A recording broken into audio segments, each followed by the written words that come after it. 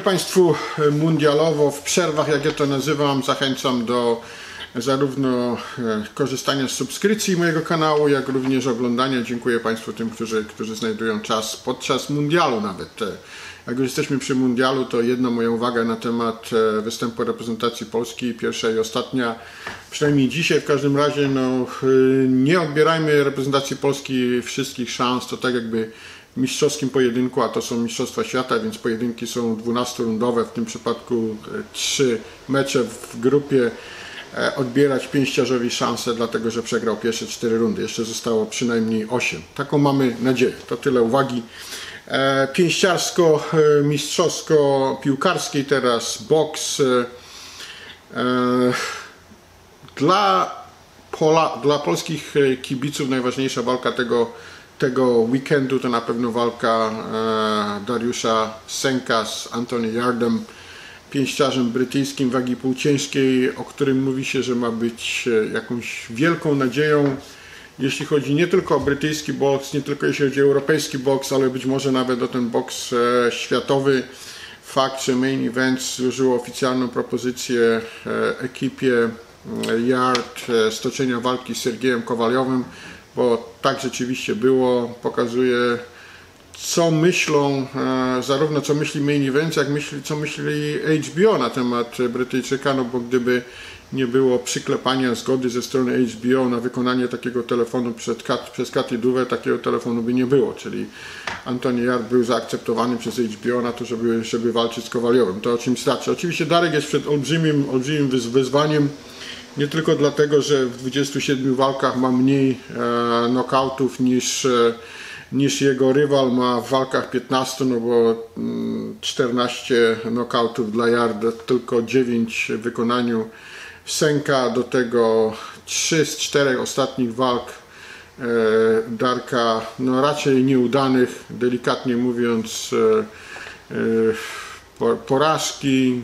remisy, żadnego znaczącego zwycięstwa od dłuższego okresu czasu. No ale jak się ma 31 lat, to trzeba szukać szans tutaj tej szansy absolutnie szukałbym, jeśli już, jeśli już trzeba byłoby czegoś szukać w tym, że na pewno Jart e, jest przekonany, że ta walka z Sękiem będzie krótka, łatwa i przyjemna, więc e, spodziewam się ataków od, od pierwszej chwili, jeśli Sęk e, będzie trzymał, bo to musi, to wiadomo, że musi.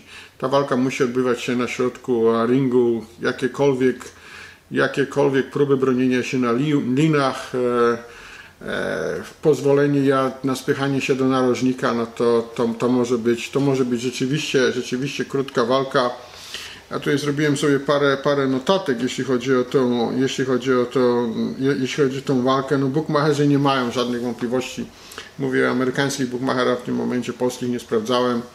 Za 100 zł czy za 100 dolarów postawione na, na Senka można tych dolarów odebrać aż 1100, czyli no łatwo policzyć 11 do 1, e, olbrzymi, olbrzymi faworyt. No Frank Warren jest przekonany, to co, o czym mówiłem na początku, że Yard to jest taki, no, że to jest kwestia może roku, kiedy to będzie zawodnik pierwszej szóstki, pierwszej e, dziesiątki, na pewno wagi e, półciężkiej. Ja nie jestem do końca przekonany, czy tak jest, bo widziałem dwa pojedynki, co prawda za pośrednictwem e, telewizji, a w telewizji czasami gorzej widać, czasami lepiej, czasami gorzej.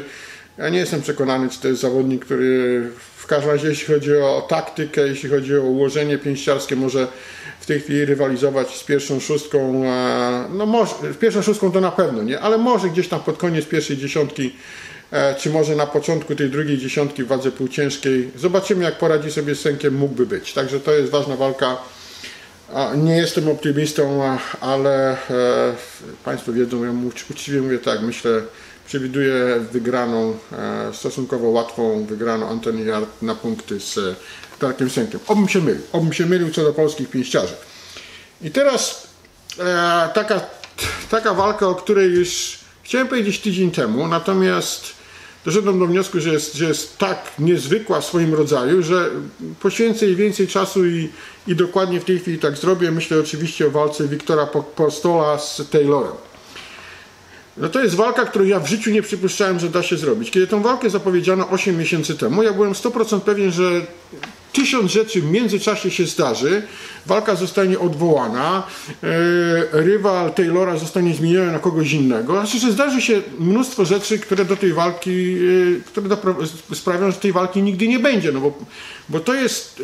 E, ja nie wiem, czy bez precedensu. No bez precedensu na pewno nie, no bo mamy oczywiście Łomaczenko w tym przypadku, ale mamy tutaj zawodnika, który ma 12 walk, czyli Taylor, i mamy tu zawodnika, który ma 29 walk, czyli, czyli e, Wiktor Postol. Mamy tu zawodnika Wiktor Postol, który przegrał jedną, jedyną walkę na punkty z, z Crawfordem, czyli jeśli nie jeden, jeśli nie dwa, to maksymalnie numer 3 rankingu pound for pound.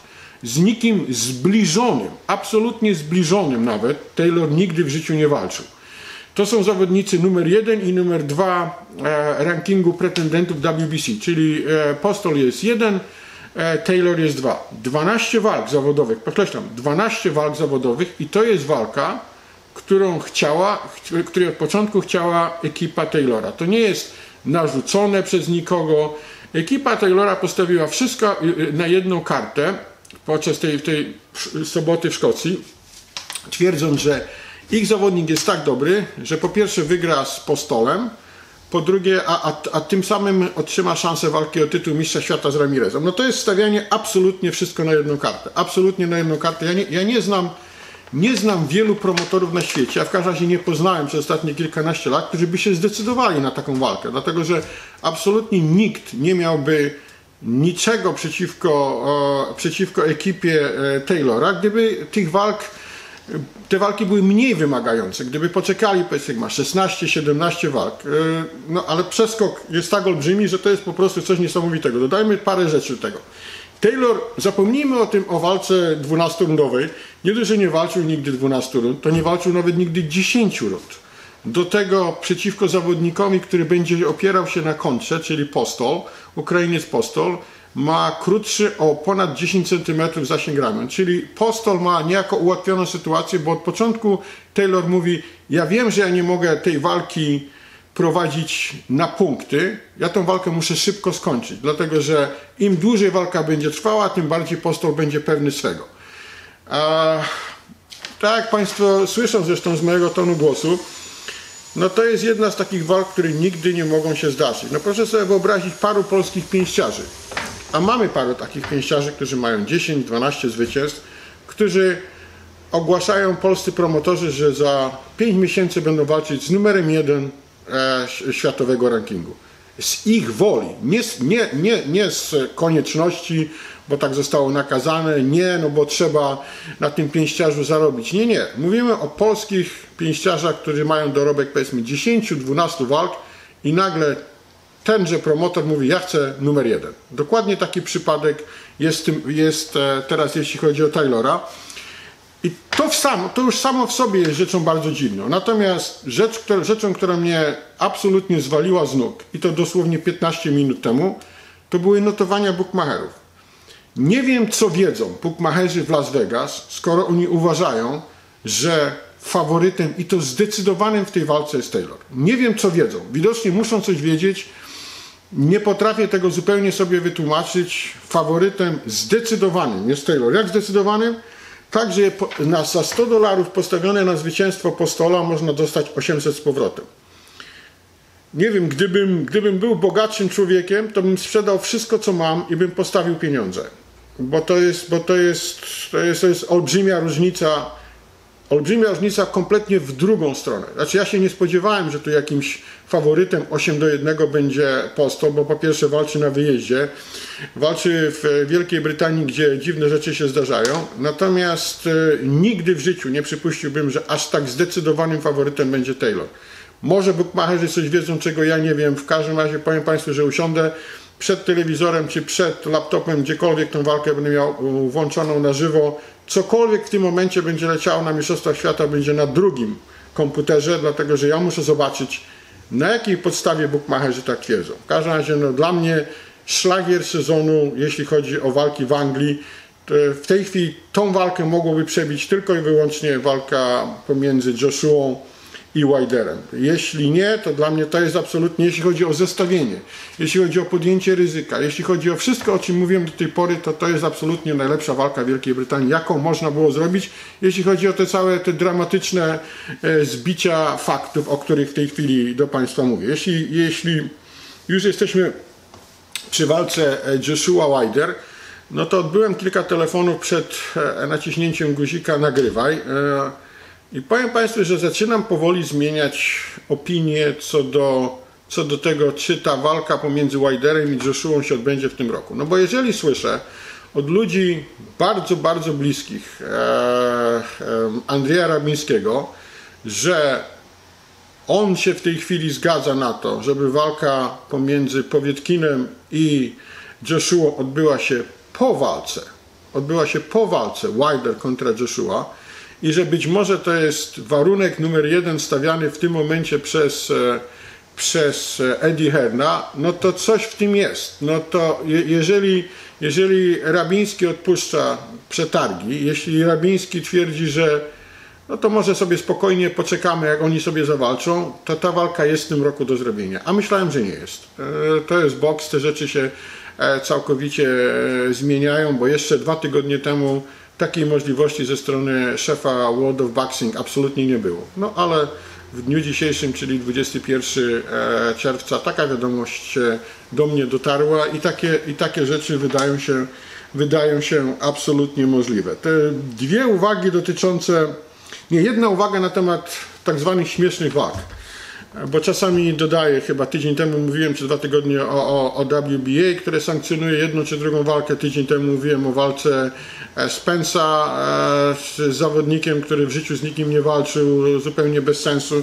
Więc teraz muszę dorzucić do tego samego pieca. Jeszcze był jeden temat polski. Na, na zakończenie, a mianowicie 30 czerwca wraca Joe Smith, którego pamiętamy z, e, ze zwycięstwa nad Andrzejem Fonfarą no i, i z e, mocnego knockoutu, bo dla mnie to był knockout, e, knockout cokolwiek Bernard Hopkins dzisiaj nie powie, e, czyli pokonania Bernarda Hopkinsa. Joe wraca przeciwko e, Melvinowi Russellowi, który jest 304 na świecie.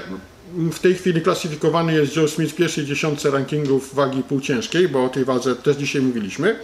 I wraca z niejakim Melvinem Russellem, który jest 304 i ostatnio przegrał z gościem z dorobkiem 4 zwycięstwa, 4 porażki. Także mają Państwo przeskok z Sullivana Barrery, z Andrzeja Fonfary, z Bernarda Hopkinsa na gościa, który nie potrafi boksować. Takie rzeczy się zdarzają po każdej stronie oceanu, po, po Państwa stronie, po mojej i tak dalej, i tak dalej. No i ostatni z tematów, a mianowicie podrzucony mi dzisiaj przez, przez um, um, jednego ze słuchaczy, Panie Przemku, co Pan myśli o walce Szpilka kontra Zimnoch? Więc tak, ja powiem tak, według mnie Szpilka Zimnoch ma zdecydowanie większe szanse realizacji niż Szpilka Diablo.